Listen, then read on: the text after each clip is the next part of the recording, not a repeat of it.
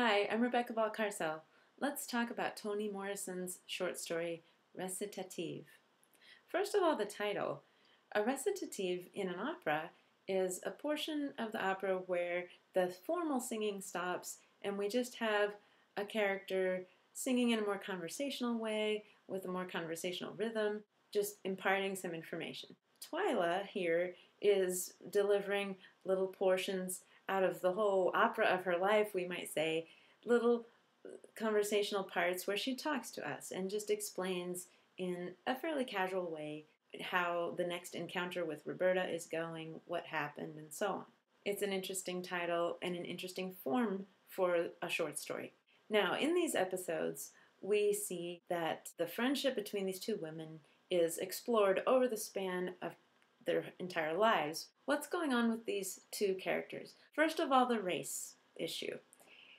Morrison has been quite clever here in not telling us what race Twyla and Roberta are. We see that they're different races. She says that they're like salt and pepper standing next to each other. So we know that one is African American, one is Caucasian, and we're wondering throughout the story which is which. And our wondering makes us try to find little clues and figure it out. So maybe we have the first clue as Twyla's name, and we think, oh, well, maybe I have the impression that a name like that must belong to an African American. But then later, I find out that Twyla lives in a suburb that is predominantly Caucasian, so I'm thinking, no, maybe she's white. And then one of the mothers cooks chicken, and you think, well, is that a black culture thing? Or maybe white people eat chicken too, so no. And then you're thinking, well, the one lady wears green pants. Maybe that tells us her race. But then you think, not necessarily. Women who are religious, does that mean she's black? Does that mean she's white?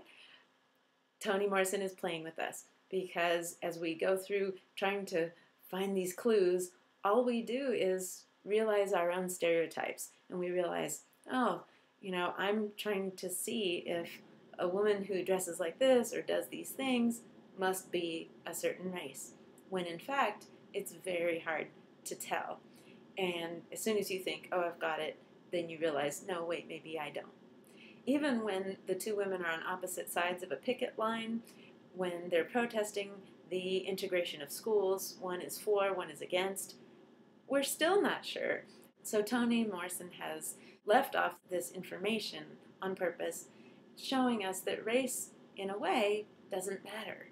What matters is that they have an issue about it. So while we can't even tell what race they are, to them it's quite important. I think Morrison is saying race doesn't matter. What matters is that people are hung up on race. Okay, so number two, Maggie. What is Maggie doing in the story? And why does the reference to Maggie get that prominent place of the very last line of the story? At the last moment, Roberta says, What happened to Maggie?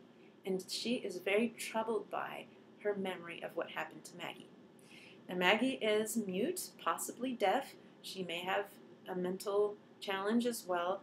She may be black. One of them remembers her as black, the other friend remembers her as non black, so her race is also in question. Maggie's disability trumps race.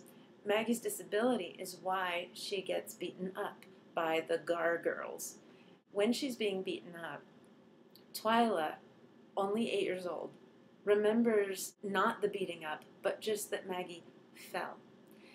She's protecting herself from remembering what really happened by telling herself, Maggie fell. Later, Roberta says, No, that's not what happened. Don't you remember? She was being beaten up. And as they piece this memory together over time, we do realize that Maggie was being cruelly treated, abused by these girls, and Twyla and Roberta did not help her and did not tell any of the adults who might have helped Maggie. They did not actually participate in the beating, but they wanted to.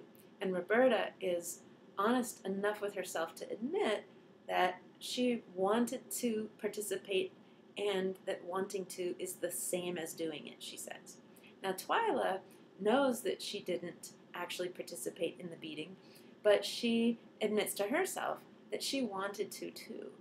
And it's kind of scary because you realize these are eight year olds who are nevertheless feeling this desire to hurt another person. Now, what is that about?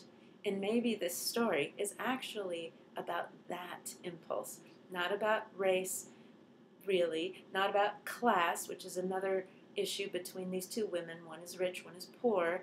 They they managed to deal with that. But what about this woman who's disabled? How come that triggers so much cruelty on the part of other people? Or why are people feeling like they can beat her and put her down when it's not just because of her race, it's really because of her disability? Well, let's examine that. First of all, I think Twyla relates Maggie to her own mother. When we're asking, why does Twyla want to hurt Maggie, this poor woman, and she feels guilty about it later, but why would eight year old Twyla want to hurt this woman? Well, she says, Maggie is like my mother dancing. And her mother dancing, even though dancing sounds rather positive, we know that that actually translated into neglect of Twyla. So, a woman who is not effective in the world, who's not able to take care of her child, a woman who is vulnerable and non functional, makes her mad. So Maggie, being non functional, stands in for this non functioning mother, and she hates that. So that's one reason that Twyla has anger toward this poor, defenseless, disabled woman, Maggie. Now, there's another comment that Twyla makes. She says that Maggie couldn't scream just like me. So she's referring to Maggie as similar to herself. Here she is, neglected, uh, having a really tough time, but she can't scream. She can't really express herself. And that hatred of the silence may be another reason that she wants to attack Maggie. She, she doesn't like that silence, that muteness. She doesn't want to be mute, and she's angry with herself for not screaming and not, you know, standing up for herself or whatever it is she wants to express. She's not expressing. So she takes it out on Maggie. Now remember, she doesn't actually beat Maggie, but she remembers wanting to. So there's another possibility of why she would want to. She sees Maggie as her mother, she sees Maggie as herself, and she doesn't like that part of herself that's mute and vulnerable. All right, what else about Maggie? Roberta also admits to wanting to hurt Maggie, and she feels guilty about it. Now, her motivations we don't have as much insight into. Morrison does not put us in Roberta's head, but Roberta obviously is angry also at powerlessness because she's powerless. So Maggie's powerlessness reminds her of her own powerlessness, so she's angry and wants to wants to beat that up. Powerlessness itself. Her mother is sick, also ineffective, also not taking care of her. So she may have similar issues. Does Maggie's race make Roberta even more likely to want to brutalize her? I don't think so. Roberta does remember Maggie as black, but it doesn't seem that Maggie's race is really the key thing here. The main element is Maggie's helplessness and her disability. Now, why does anyone want to beat up a disabled person? This is just human cruelty, right?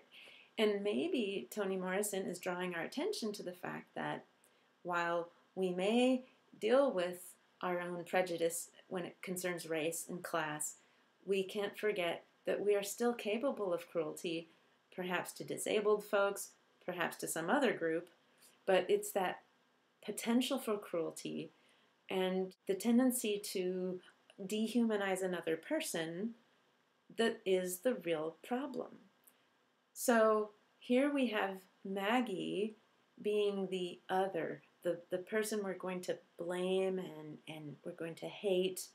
And that's a problem when inside ourselves, inside those eight year old girls, and inside all of us, there is that potential to dehumanize someone else and be cruel to them.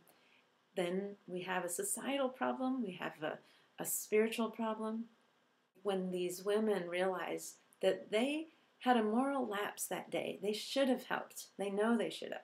It's important that they're honest enough to admit that while they weren't having an issue with race right then, they still were having a moral lapse of a different kind.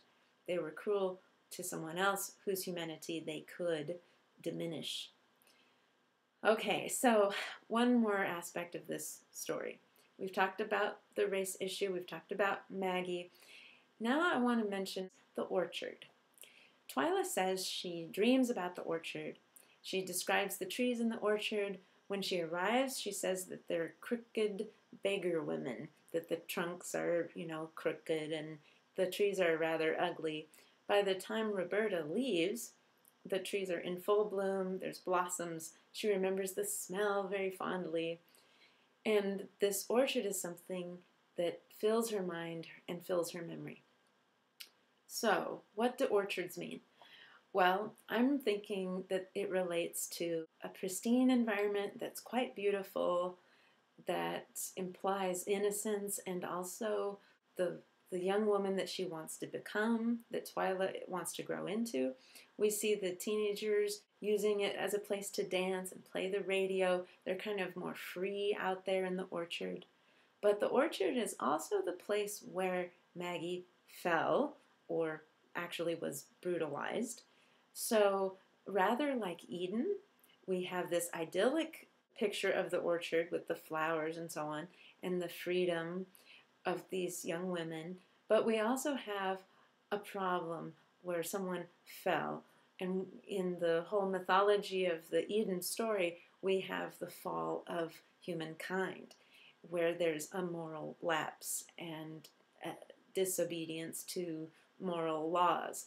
And the brutalization of Maggie, the beating up of this disabled woman, is certainly a moral lapse and is certainly the moment when Twyla loses her innocence because for the first time she knows what it is to want to be cruel.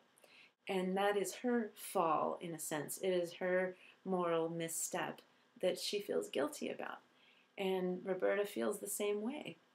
So the story ends with this sadness about Maggie, about how they lost in that orchard their compassion, they lost their humanity, they lost themselves. This is the crux of the story here is this question, how is it that we can be compassionate, that we can be humane with one another when we do have these deep human threads of darker behavior and and Uh, and cruelty. We need to face that in ourselves in order to make this world a better place. Well, those are some of my ideas about this story, and I know you have some feel free to put them in the comments and join me for another video sometime.